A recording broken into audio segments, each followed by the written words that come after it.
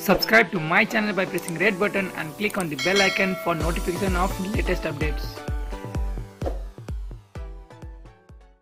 अर्थ र सूचना तथा सञ्चार मन्त्री डाक्टर युवराज खतिवडा मन्त्री पदबाट हट्ने पक्का भएको छ तर विरोधहरू गर्न गठित सदस्यीय कार्यदलको सुझावपछि हुने मन्त्रीमण्डल पुनर्गठनमा खतिवडा लगायतका धेरैजना मन्त्रीहरू हट्ने प्राय निश्चित भएको कार्यदलका एकजना सदस्यले बताएका छन्।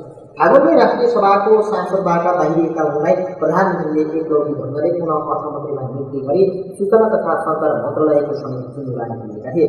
राष्ट्रिय सभाको रिक्त सदस्य पदमा पार्टीको पूर्ववत नियम बमोजिम वामदेव गौतमलाई वैज्ञानिक र प्रभावशाली मन्त्रालयको जिम्मेवारी दिने विषयमा सबैजसो नेता सहमत देखिएका छन्। ट्र्याकलाई राजनीतिक ढिल्ला भिडाएर राष्ट्रिय सभा सदस्य शक्तिशाली मन्त्रालय र केही सदस्यको जिम्मेवारी दिए पनि यतिखेर उनी पार्टी अध्यक्ष तथा प्रधानमन्त्री केपी शर्मा ओलीको लागि ढाडो साबित भएका छन्।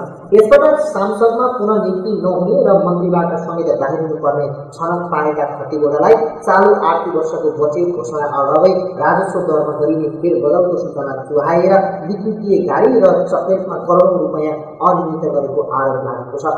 राष्ट्रिय बैङ्कमा रहेका छोरी ज्वाइँलाई काजमा मन्त्रालय झिकाएर अनियमिततामा संलग्न गराएको बारे दृष्टिले यसअघि धेरै पटक सप्रमाण समाचार प्रकाशित गरेको थियो। कतिवटाका कारण पार्टी अध्यक्ष तथा प्रधानमन्त्री मोदी निकै आलोचित बनेका छन्।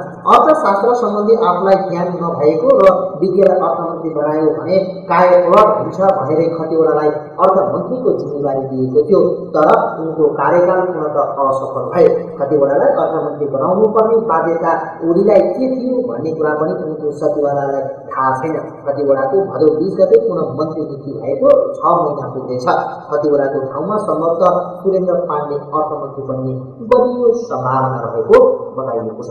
यो खबर अनि दृष्टि साप्ताहिकबाट गरेको